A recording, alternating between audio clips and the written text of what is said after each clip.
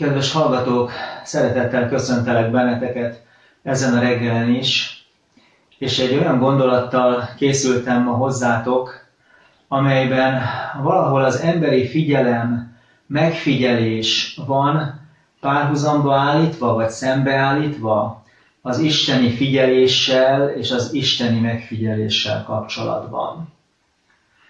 Mi, amikor emberként figyelünk valamire, megfigyelünk valamit, akkor utána azonnal jönnek a dolgaink, reagálunk valamit valamire, ha lehet úgy mondani, egy akcióra jön egy reakció.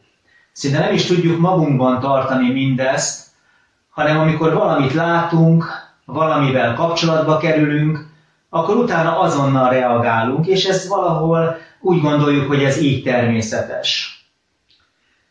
Ugyanakkor az Ószövetség utolsó könyvében, Malakiás proféta könyvében egy nagyon érdekes kifejezést találunk az Isten figyeléséről, és az Isten megfigyeléséről, és az Istennek az akció-reakció kapcsolatáról.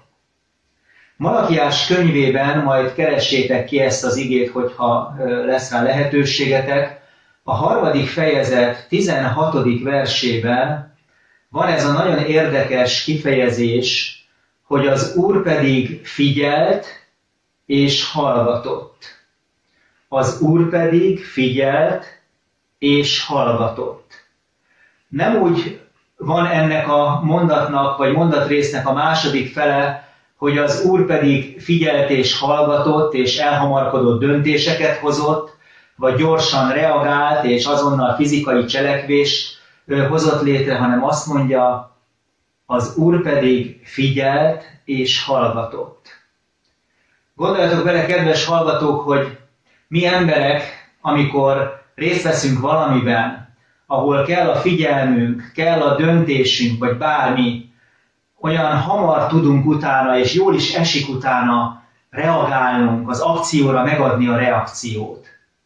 És mi ebben a pár évtizedben, ugye nézzük általában a híradóinkat, amelyekre inkább azt lehet mondani, hogy bajhíradók, hiszen bekapcsoljuk 6 órakor a híradót, és fél óra, egy órán keresztül más sem látunk és hallunk, mint hogy felrobbant, tönkrement, meghalt, elpusztították, stb. stb. Tehát a híradónk az inkább már egy bajhíradó, és mi valahol már ebbe évtizedek óta kezdünk is belefáradni de az Isten, az az Isten, aki figyel, az az Isten utána legtöbbször hallgat. Valahogy, amikor én ezt az igét ízlelgettem, olyan gondolataim támadtak, hogy az az Isten, aki a bűn miatt erről a világról szinte kiebrudaltatott az ember által, egy kicsit olyan, mintha a saját teremtménye azt mondaná neki, vagy azt mutatná neki, hogy neked, neked nem osztottunk lapot. Nem érdekel a te beszéded, a te törvényed nyűg és teher, ami számunkra, hagyjál minket békén, nem vagyunk rád kíváncsi. Ezért ez az Isten, aki Jézus Krisztusban láthatóan a legutolsó helyre is elfogadta, hogy tegyék, és Jézus Krisztus tényleg a legmegalázottabb és legalacsonyabb helyre került átmenetileg az ő életének a végén. Ez az Isten a történelmünkben figyel és hallgat. Figyel és hallgat. Van ebben valami nemesen félelmetes ebben a két szóban, hogy nagyon-nagyon jó lenne, hogyha odafigyelnénk az isteni figyelemre, és arra, hogy mit jelent az, hogy az Isten hallgat. És hogyha tovább megyünk egy kicsit, kedves hallgatók, akkor ízelgessük jobban meg, ízelgessük egy kicsit mélyebben meg ezt a szókapcsolatot. Mennyi ideje figyel már Isten, és hallgat gyakorlatilag szinte egy végtében? Több ezer éve figyeli a mi bajhíradónkat.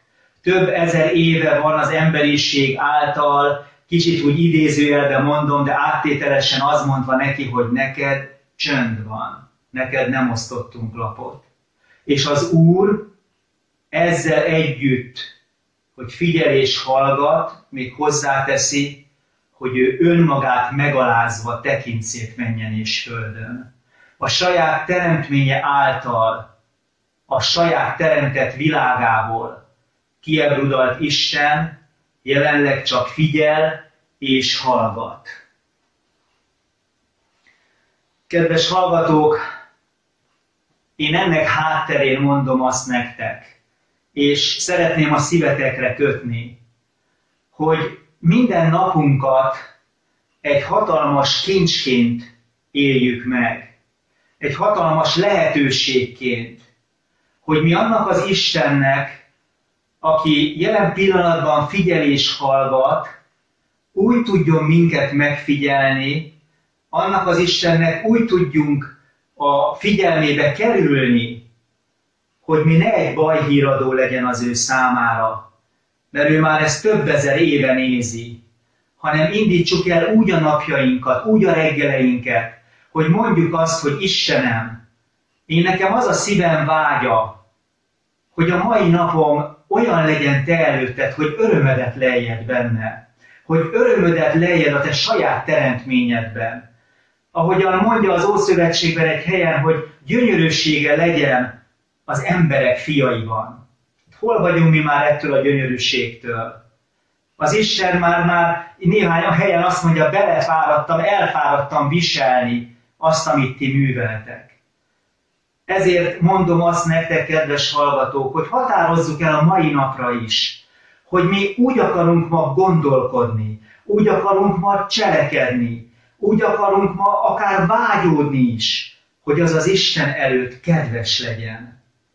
És amikor az Isten figyel és hallgat, mi felőlünk is, akkor olyan lehessen az ő figyelme, hogy amikor majd előjön az Isten, mert elő fog jönni, amikor így írja a Szentírás, hogy mint hatalmas hős elő fog jönni az Isten, amikor már nem csak figyel, és nem csak hallgat, hanem figyel és cselekszik.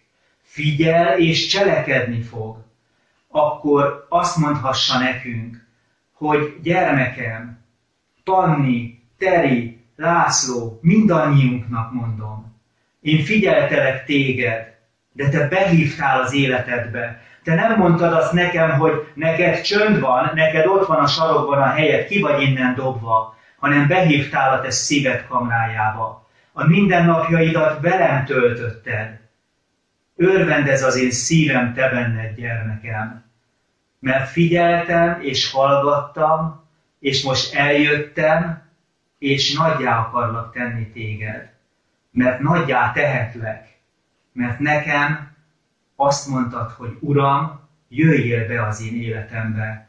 Nem azt mondtad, hogy neked hallgassa neved, mint ahogy itt az emberi világban mondjuk néha a gyerekeknek, főleg a régmúlt időkben. Kedves hallgatók, a ma reggeli gondolatébresztésem tehát ez, hogyha Isten figyel is és hallgat is, azzal együtt nagyon becsüljük meg a mindennapjainkat nagyon-nagyon tartsuk értékes kincsnek a mi életidőnket.